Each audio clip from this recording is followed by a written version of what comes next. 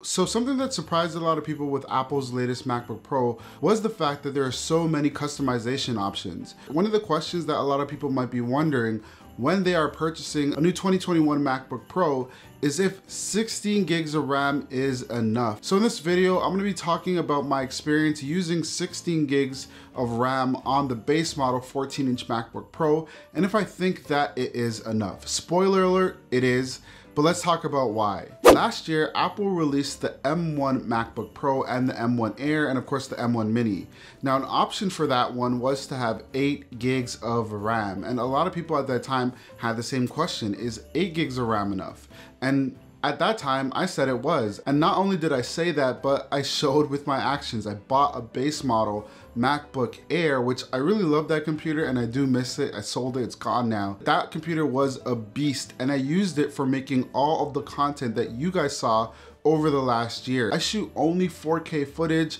I do videos that range from five minutes to 10 minutes, and those are all edited in Final Cut Pro. I didn't really have much of a problem, except one time, which I'll talk about at the end of the video. But in general, for like 95% of the time, I did not feel that I needed more space on my M1 MacBook Air. And that is because with the new M1 chips, Apple has made them really, really, really, really RAM efficient. So in the past, the thing was to get the most RAM that you can get, especially if you are a video editor. And that made total sense because they were using Intel based chips in their computers. However, when Apple switched to their M whatever chips, whether it's the M1, the M1 Pro, M1 Max, those chips are way more RAM efficient. You could do more with less RAM. So now let's get back to 2021. I bought the 16 gig base model 14 inch MacBook Pro. And like the last year's computer, that computer is a beast. I'm able to export around 50 high quality photos in less than two minutes.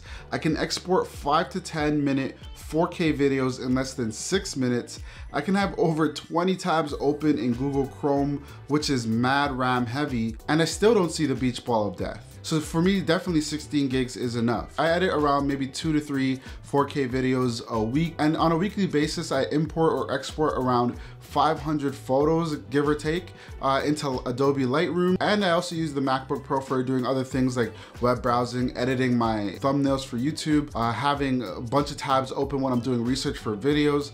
And again, no beach ball of death here, 16 gigs was enough. So let's get into the time where I felt like I didn't have enough RAM. And to clarify, I'm not talking about the 16 gigs of RAM, I'm talking about last year's eight gigs of RAM, but it might still apply depending on your usage. Last year I was working with an artist that was very hands-on. We were in her kitchen at her house editing the video shot for shot and I like the process it went really well however I don't know what happened, but typically speaking, I edit videos off of a solid state drive and not my internal storage space. But that day I just was, I don't know what happened. But if you edit videos in Final Cut Pro, you definitely know that those library files can be huge. I'm talking like up to 500 gigs sometimes. And what happened was the RAM is able to take up storage space when you utilize the RAM to its full potential. There was no more storage space because I was editing internally. If you are gonna go with the base model RAM and you're gonna also edit videos on your computer locally, then you're definitely gonna want to get more RAM or more storage space. That way they're not really clashing. That has not happened with the 16 inch MacBook Pro,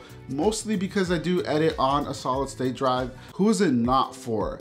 And to answer that question, I'd most likely say that the 16 gigs of RAM is good for a lot of people, except if you are somebody that is really about this video editing life.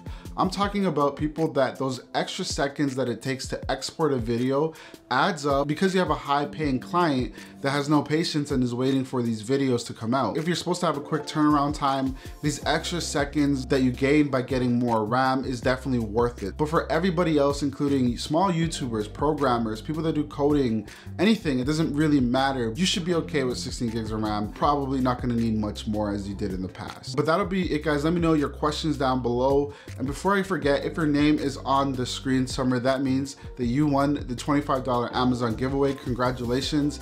If you didn't win, don't worry about it. Still subscribe. I'm doing this one more time. I'm gonna announce it by the end of the year, so make sure to be subscribed. Comment down below. You can ask a question about RAM. You can just comment about my hair. You can just comment about whatever. It doesn't matter. Just do it, and I appreciate it. So I'm gonna see you guys in the next one. Peace.